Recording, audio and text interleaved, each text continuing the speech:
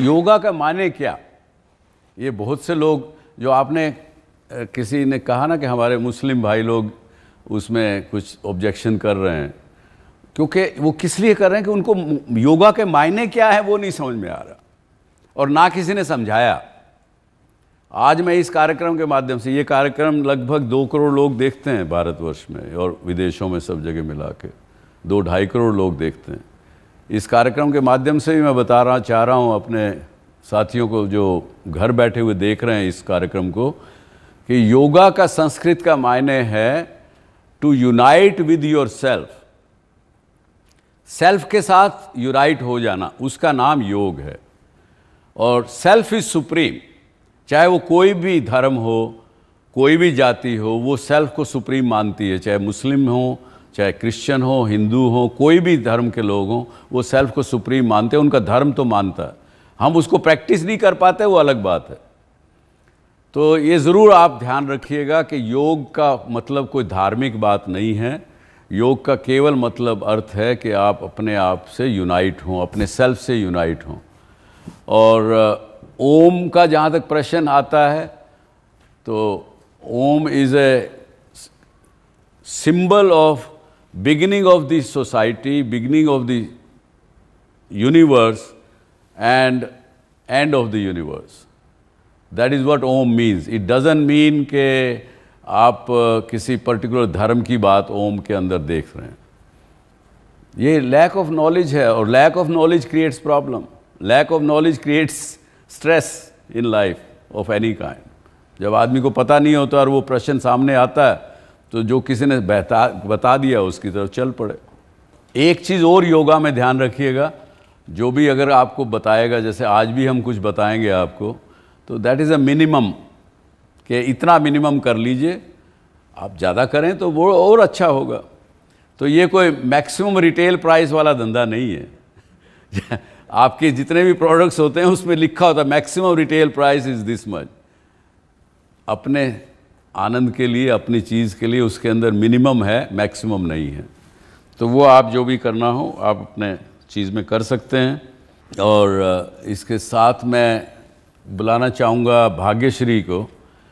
Bhagyashree is here with us today to show us some of the simple techniques which will be helpful God bless God bless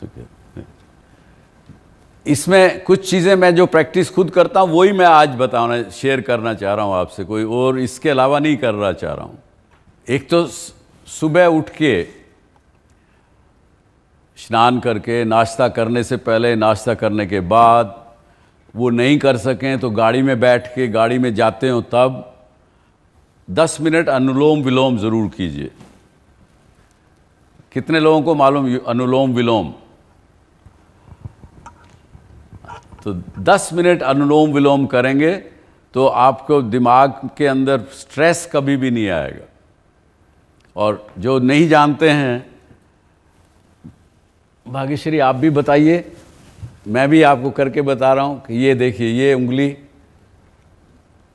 और इससे एक एक नाक को इधर से बंद कर लिए अंगूठे से और ये तर्जनी उंगली से।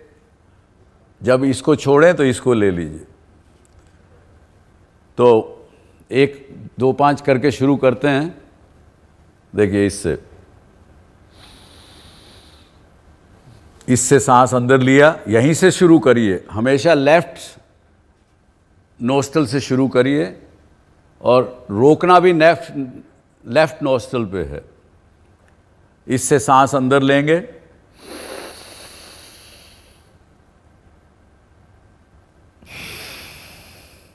राइट से छोड़ेंगे।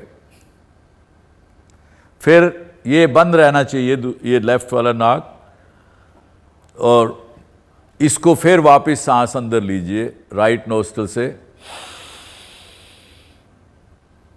इसको बंद करिए और दूसरे से फिर यहाँ छोड़िए। जरा करिए देखें। Left nostril, open. Take the breath in, hold it, leave it from the right nostril, take back again the breath inside from the right one, leave this, close this,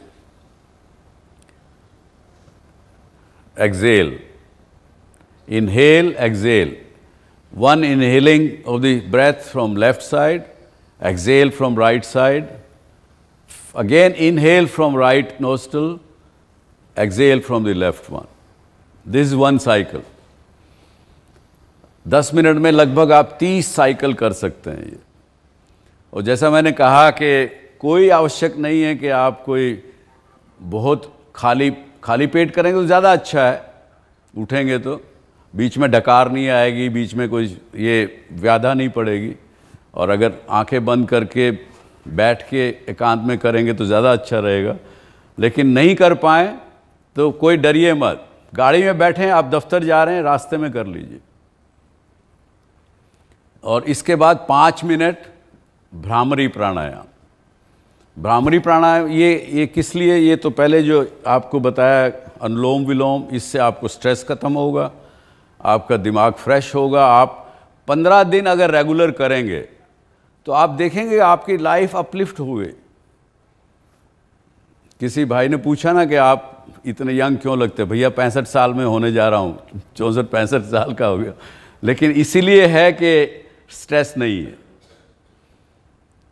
जो भी स्ट्रेस आता है तो उसके अंदर भी समता बनाए रखते हैं। और जब कोई बहुत अच्छा आता है तो उसके लिए भी, उसमें भी बहुत एक्साइट नहीं होते हैं। तो समता बनी रहती, समता बनी रहेगी तो आप अच्छे स्वस्थ रहेंगे। तो भ्रामरी प्राणायाम में क्या करेंगे, भाग्यश्री बताएगी। ये आप अपने कान के ऊपर दोनों उंगली बंद करिए और थोड़ा आँख पे रख लीजिए। सांस को इनहेल करिए, पूरा अंदर लीजिए। और फिर यहाँ गले से छोड़िए उसको, इस जगह से। आवाज़ आपके मुँह से निकलेगी जैसे कि भंवरा एक ऊ कर रहा देखिए एक बार फिर, ये दोनों अंगूठों से आप कान के ऊपर रख लीजिए। हाँ।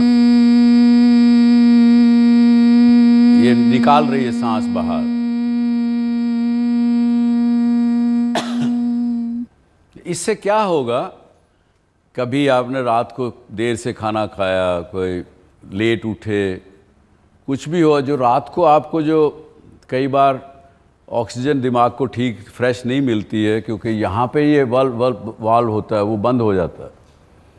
तो आपको फिर खुराटे आने लगे, खुराटे इसीलिए आते हैं कि ऑक्सीजन पूरी ब्रेन को नहीं मिल रही। फिर नींद अच्छी नहीं होगी, सुबह ठीक से नहीं उठेंगे तो ये भ्रामरी प्राणायाम उसके अंदर हेल्प करेगा।